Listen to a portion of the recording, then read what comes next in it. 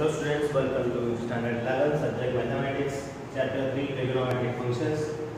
This is lecture number 2. Here we will understand about what is degree measure and radian measure. As we have seen the first lecture that degree measure and radian measures are the units of the angles, measurement of angles.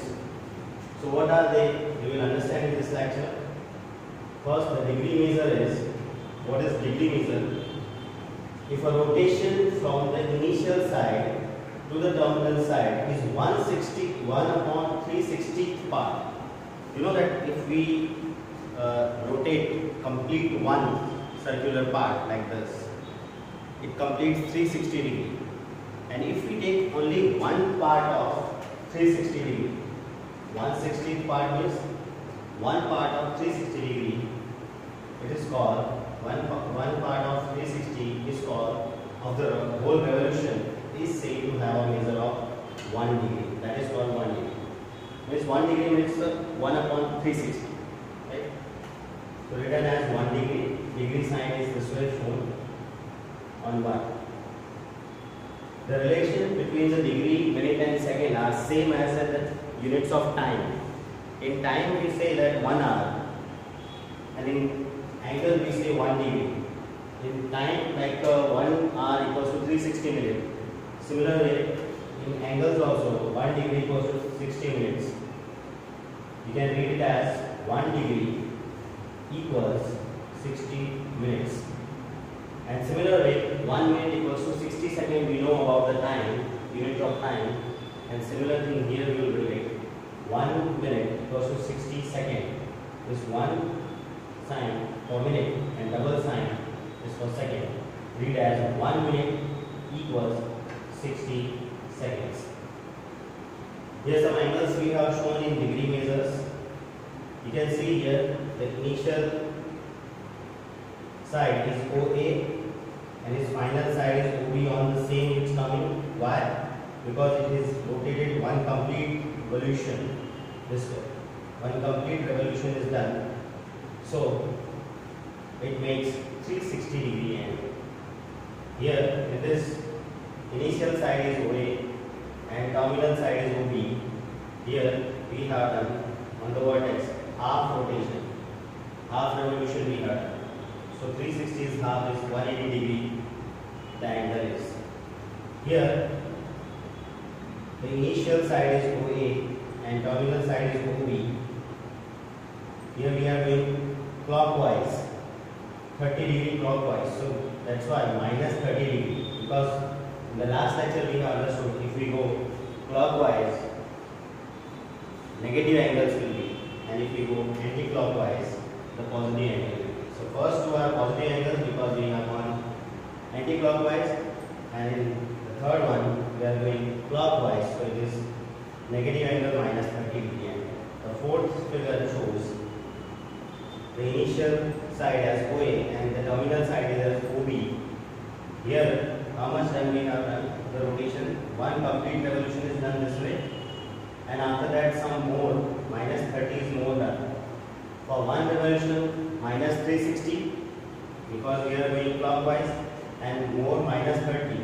Minus 360 and minus 30 will be minus 390 degree. So this is the angle in degree measures we have shown by the figures as we understood that what is degree in definition and what are the relation between degree and minute and minute and second which is similar to the units of time. Now the next is radian measure.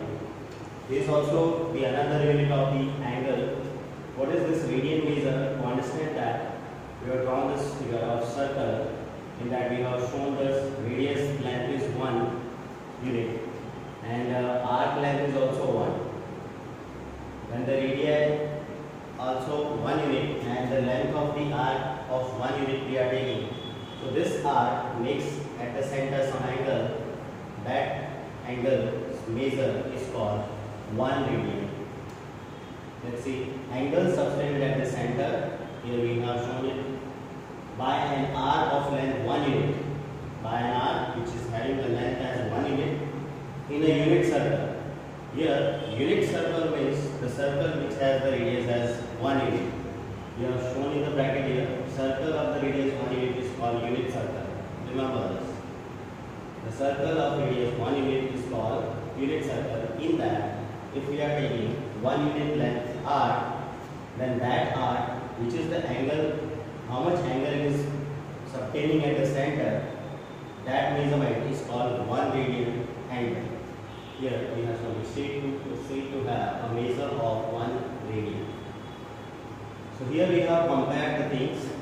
Here the radius we have taken 1 unit, the length of arc is also 1 unit and at that time the angle subtended by the arc on the center or at the center is 1 radian. Similarly, in general if we go, if we take the circle of the radius r, you know generally the radius of the circle is denoted by r. If we take the radius r of the circle and any arc we have taken of the length l small l then how much angle this arc will make at the center that we have compared here. Radius is r, length of arc is l. The angle if we say theta, how to get this theta angle will be, you know, theta equals to this l upon r we can write and from this you can make it l equals to r theta where l is the length of arc, r is the radius of the circle and theta is the measure of the angle in radian. So this is the radian measure we have defined with the relation of arc and radius. Next is relation between the radian and the real number. What are the relation between the radian and real number? So radian measures and real numbers can be considered as one only and the same only. The real numbers and radian numbers are considered same. Now relation between the degree and radian. The degree we have seen here and the radian here we have seen. What are the relation between them? That is also we have to understand here. Here you can understand if we on the center if we take a complete round the complete round it will be of 2 pi radian. In radian it will be 2 pi and in degrees here we have shown if we take a complete round or revolution one revolution it is making 360 degree. So in radian when the complete revolution is taken 2 pi radian and in degrees it is 360 degree. So we can compare both of them. So 2 pi radian equals to 360 degree.